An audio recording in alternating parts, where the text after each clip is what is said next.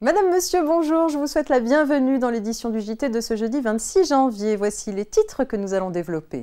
L'aide exceptionnelle à l'alternance prolongée, entreprise de transport en ZRR et information à communiquer aux souscripteurs d'une assurance vie. C'est parti.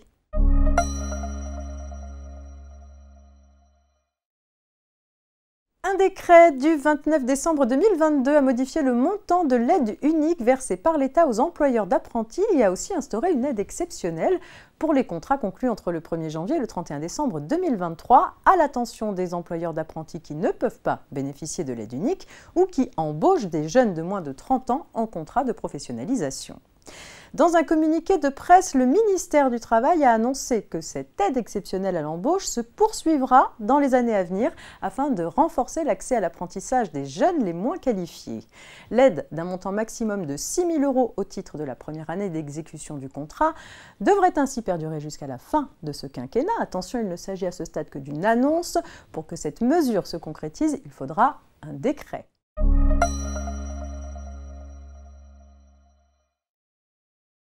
Des exonérations d'imposition sur les bénéfices sont octroyées aux entreprises localisées en zone de revitalisation rurale, dite ZRR, sous réserve d'être exclusivement implantées dans une telle zone. Pour une entreprise exerçant une activité non sédentaire, la localisation en ZRR est avérée lorsque le professionnel y a installé son cabinet, son bureau d'études ou de conseil ou le local où est effectuée la partie administrative de son activité et qu'au plus 25% de son chiffre d'affaires sont générés hors zone. Le fisc a récemment eu l'occasion d'apporter des précisions concernant le cas particulier des entreprises de transport de marchandises ou de personnes qui sont par essence non sédentaires.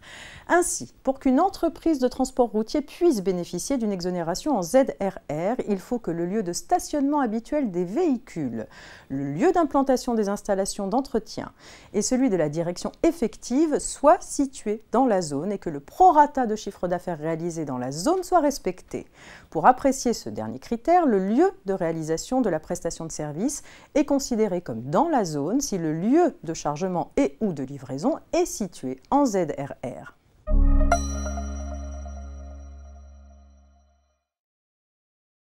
L'assureur doit fournir au client une note d'information précontractuelle sur les dispositions essentielles de son contrat. À défaut, le délai de renonciation de l'assuré est prorogé jusqu'au 30e jour suivant la date de la remise effective du document.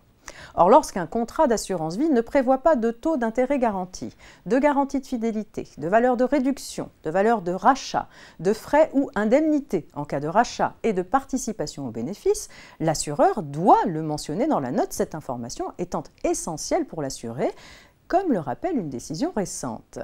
Un particulier souscrit un contrat d'assurance vie. Invoquant un manquement du courtier à son obligation d'information précontractuelle, il la signe en vue d'exercer son droit de renonciation prorogé et d'obtenir le remboursement des primes versées. L'assuré lui reproche de lui avoir remis une note d'information ne mentionnant pas la plupart de ces mentions, pourtant imposées par la loi. Ce à quoi il lui est opposé que le contrat ne prévoyant aucun de ces éléments, la note d'information n'avait pas à les préciser. L'assuré obtient finalement gain de cause. La note devait mentionner leur absence, cette information étant en effet essentielle pour que l'assuré puisse mesurer la portée de son engagement. C'est la fin de ce JT. Très bonne journée et à demain, vendredi.